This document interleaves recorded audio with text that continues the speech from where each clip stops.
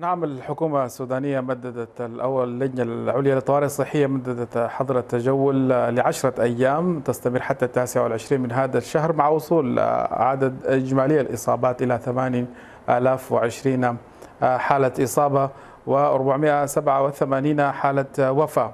استثنت هذه المرة الحكومة السودانية واللجنة العليا للطوارئ الصحية عددا من القطاعات المهمة.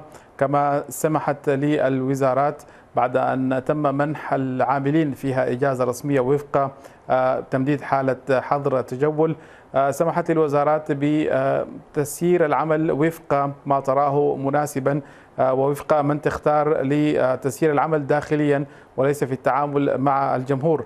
أيضا مع تمديد حالة حظر التجول ارتفعت حالة التضخم وارتفعت معها معه نعم. الأسعار حيث تحاول الحكومة الآن السيطرة على جموح الأسعار حيث سمحت أيضا لتجار الجملة بالعمل في ساعات آه، نعم. السماح للسيطرة على ارتفاع الأسعار بالإضافة إلى أن هناك جهود أيضا آه، صحية آه، تجريها الحكومة وأيضا وزارة الصحة في ولاية الخرطوم وهي بؤرة تفشي المرض والأكثر انتشارا حيث أن هناك عدد من المراكز تمت زيادتها بالإضافة إلى تحسين الخدمة في عدد من المراكز.